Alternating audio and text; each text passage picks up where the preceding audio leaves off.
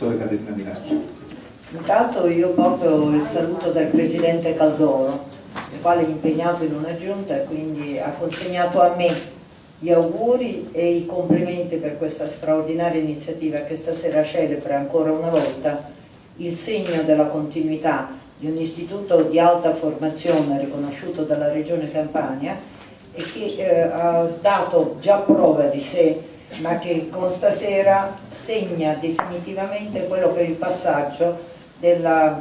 cultura rappresentata dai paesi del Mediterraneo. Che la Regione abbia una grande attenzione verso le culture dei eh, paesi del Mediterraneo è dimostrato dalle tante iniziative. Voglio ricordare solamente la mostra d'oltremare che ha tra i suoi impegni quello di creare un polo che rappresenti, ma diciamo la verità, la Regione ha consegnato al Presidente Capasso, al quale rinnovo assolutamente tutta la nostra gratitudine, ha consegnato le fila di un discorso che torni indietro in quelli che sono rapporti che l'Italia, ma in particolar modo la Regione Campania, ha sempre mantenuto con i paesi del Mediterraneo. A nessuno di noi sfugge che tutti gli studi li abbiamo sempre attraversati attraverso i rapporti che storicamente hanno fondato le culture del Mediterraneo e la nostra cultura.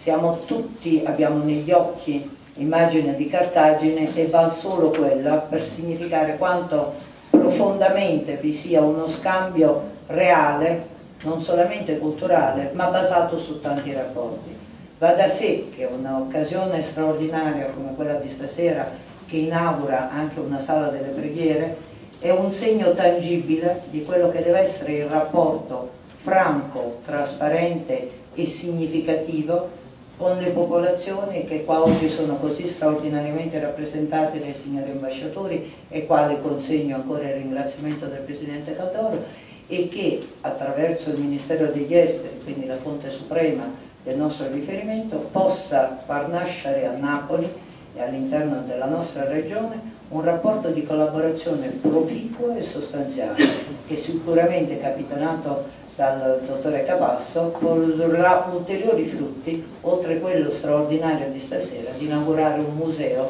che consegna attraverso le sue memorie quelli che sono i nostri rapporti e che ci indica sicuramente quali saranno i nostri rapporti futuri. Grazie ancora, auguri e continuiamo così. Grazie.